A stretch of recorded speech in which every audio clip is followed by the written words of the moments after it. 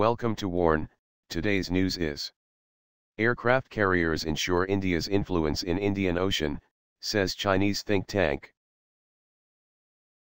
China can learn from India's strategy to maintain its influence in the Indian Ocean with early acquisition of aircraft carriers that display deterrence and protect regional and world peace, a Chinese Navy think tank said on Friday. Although no large-scale warfare broke out in the Indian Ocean in the past few decades, the Indian Navy is continuously growing in strength, and the existence of aircraft carrier especially deters other countries along the Indian Ocean from violating India's marginal islands, an article in China Military Online said. Written by Liu Kui, a scholar from Naval Equipment Research Institute of the People's Liberation Army Navy, the article, What Can China Learn from India's Aircraft Carrier Strategy? said in peacetime, an aircraft carrier is an effective naval vessel that displays deterrence and protects regional and world peace.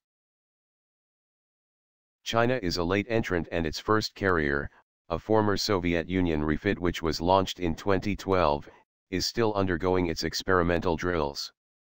With plans for big naval projection in the South China Sea and Indian Ocean, China is currently building a second aircraft carrier at feverish pace.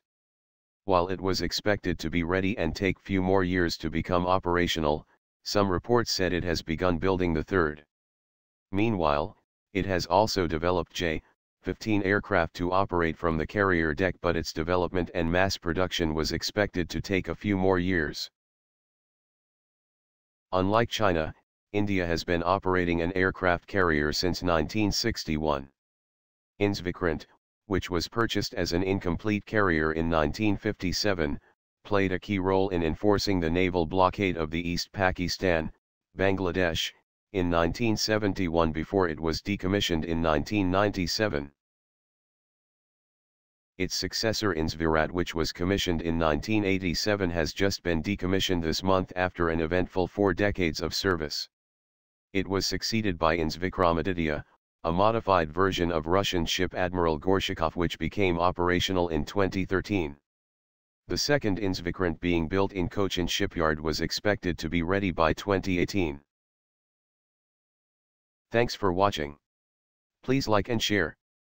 Please comment your opinion for this news.